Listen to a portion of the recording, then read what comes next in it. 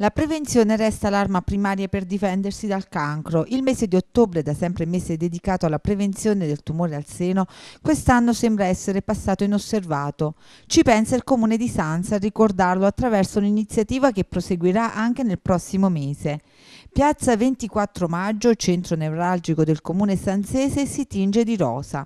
Un'iniziativa voluta per ricordare l'importanza dei controlli preventivi che possono essere la prima e determinante cura per vincere la battaglia contro il cancro.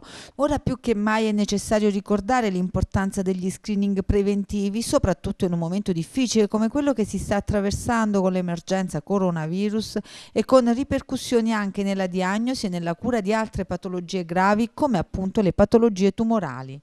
Un piccolo ma significativo gesto dell'amministrazione comunale sanzese per manifestare la propria vicinanza a tutte le donne, ma soprattutto per sensibilizzare l'ASL di Salerno ad adottare adeguate misure di assistenza e agevolare i controlli preventivi in maniera tale da poter agire tempestivamente sul male e aumentare le possibilità di guarigione.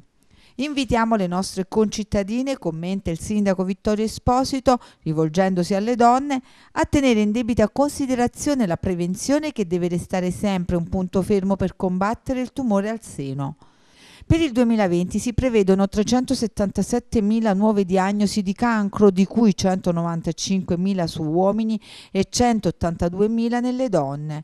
Una leggera flessione di 1.000 unità rispetto allo scorso anno negli uomini, ma un aumento di 6.000 casi accertati di tumore sulle donne, di cui ben il 14,6% è riferito a diagnosi di tumore al seno.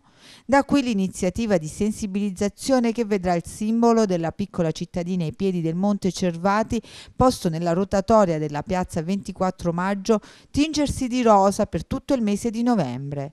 Lo scopo della nostra iniziativa, ribadisce l'assessore Marianna Citera, è quello di sensibilizzare le nostre concittadine sull'importanza di sottoporsi agli screening di controllo.